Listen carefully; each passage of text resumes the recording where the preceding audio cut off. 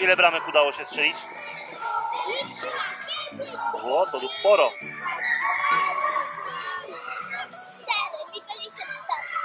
Cztery.